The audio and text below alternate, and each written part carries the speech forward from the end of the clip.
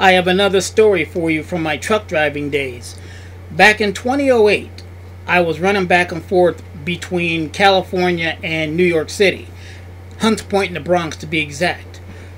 But I took the usual routes. Sometimes it was 80, and sometimes it was Interstate 40.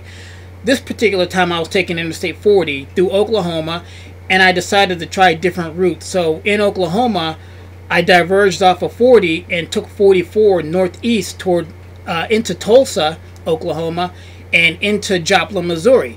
Now, the reason why I was going into Missouri instead of the usual route was because a friend of mine, who, who a coworker actually, who was also a driver, it still is a driver. I haven't I haven't seen him in over 10 years, but at the time we saw each other quite a bit. He had a girlfriend that was a smoker. Now, I don't know if it's that way today, but back in 2008, Missouri had some of the cheapest cigarettes in the nation. So he asked me to pick up a couple of cartons of cigarettes for his girlfriend as I was coming back from California. So that's what I did. And I got to Joplin. Now, if you're not familiar with where Joplin is, Joplin, Joplin, Missouri is the extreme southeast corner of Missouri.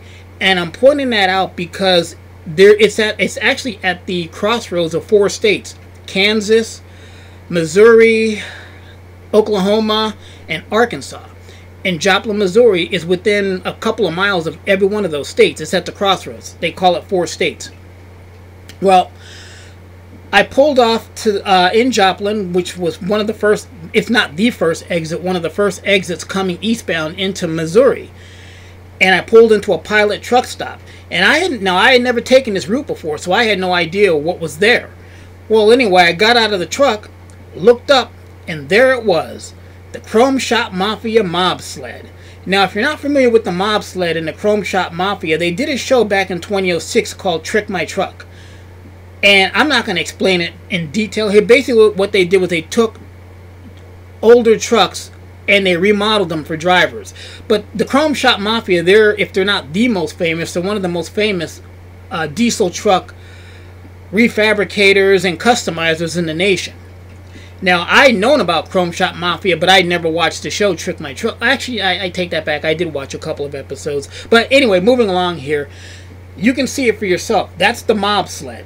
That's the truck that they had displayed at the time. Now, I'm sure by now they've got something different up there, but you never know since that first time that I've been there, I've, I've been back to the Chrome Shop Mafia several times afterwards. In fact, I was actually going to have them do some work on the my truck, but unfortunately, that never came to fruition because after a while, I wasn't getting out to the West Coast as often, so I had to make a special trip out. And by that point, I moved into other things, so it didn't happen. But I do intend on buying another truck. I'm thinking maybe in 2023 or 2024. I intend on buying another truck. Now, I don't intend to run it commercially. I, I have a different purpose for it. But if I do end up buying another truck, and it's more likely than not that I will, I am going to take it to Chrome Shop Mafia and have them do some work on it. So, if you're still a viewer during that time, and you better be, I'll be doing a documentary on buying the new truck and you know showing you what the truck looks like and then me taking it to chrome shop mafia and getting the work done. There's also a place in pennsylvania uh, in lancaster. I can't remember the name of the place but they do good work too so i may do the work there.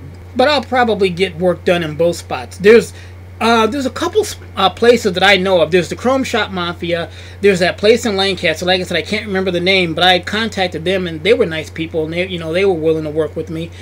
There's a place in Elizabeth, New Jersey called the um, Elizabeth Truck Elizabeth Truck Center, and that's where Richie Acosta. You, I don't know if you're familiar with Richie Acosta, but he had a black Peterbilt called Project 350, big long truck. But uh, you might be familiar with them, you might not be. But if you're not, that's okay. But Elizabeth Truck Center in New Jersey. And then there's the K&L Chrome Shop who took over the Trick My Truck show after the Chrome Shop Mafia. I don't know how long Chrome Shop Mafia did the show. I don't think it was but a season or two, maybe three. I, am not sure, but I do know that K&L Chrome Shop took it over after them. Now K&L Chrome Shop, that's K and L Chrome Shop. They had two shops at the time. They had one in Lynchburg, Virginia, and they had one in South Carolina off of I 95. Now, I don't know if they're still around. I'm sure they probably are.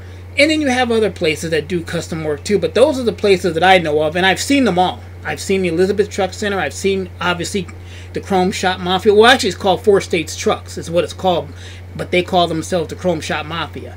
I've seen the K&L Truck Centers. I've seen both of them, and I actually have pictures of their truck too, which I have to get the slides for them.